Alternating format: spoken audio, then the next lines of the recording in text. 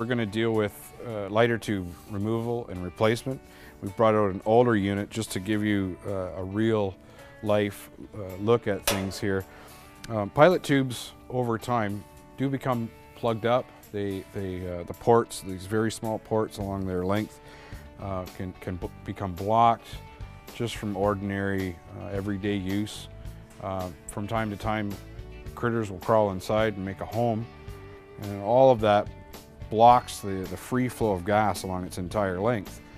And some of the common complaints are, you know, my lighter tube runs, but it's only running part way, or I can't light it at all from this end because the fuel obviously isn't getting down to this end. Or I have a large flame up at the top near my red knob, and we hear that from time to time. Um, usually indicative of a blockage in the tube. Uh, I almost always recommend replacement. It's much quicker and 100% success rate. You don't have to remove the burners to install this part. It's not uncommon to see people replacing their pilot tubes at the same time that they're servicing or replacing burners and vice versa. So if you need to remove the burners, refer to the other video um, so that we can give you guys a better look at what we're doing here in the grill uh, on the pilot tube. We're gonna take the burners out of this older grill uh, and come right back. Okay, burners are out. Now we can really see what's going on down here. Um, the pilot tube, uh, we're looking at the ports. They're blocked severely. The owner was complaining of an orange flame in this area. Uh, this is a, another tube out of a, another grill that we took out. Again, same scenario. All the ports are really oh, probably half blocked uh, and a lot of soot up on this area from that orange flame, that candling flame. Here's a brand new pilot tube. All nice and clean. Ports are wide open, no carbon.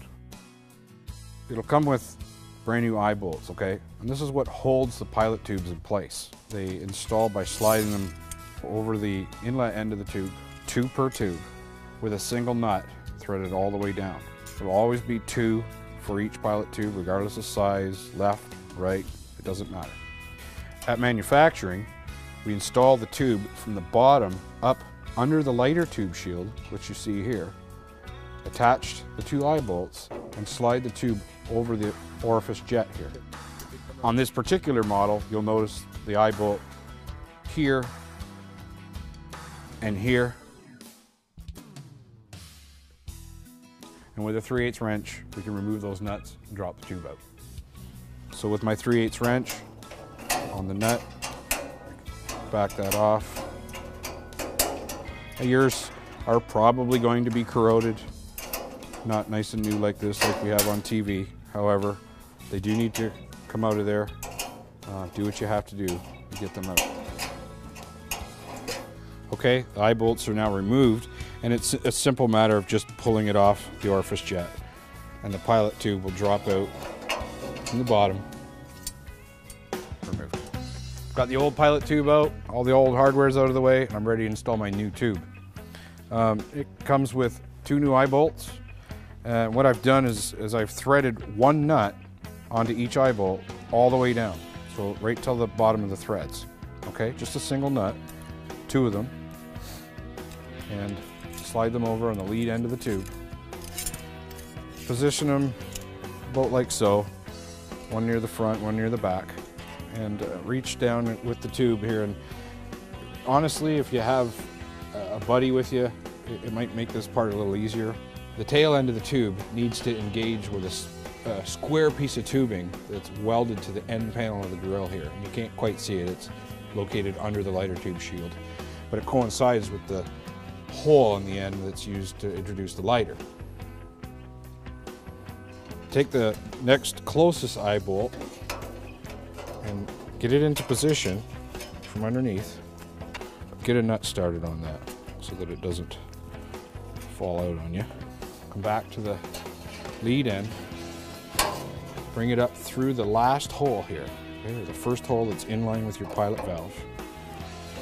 You got, I've got my other uh, eye bolt here.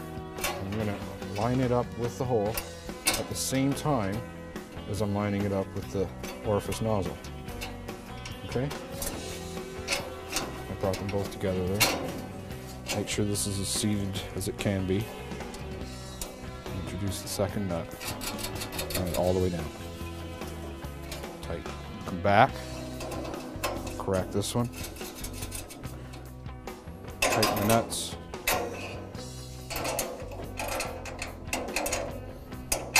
There you go. All done.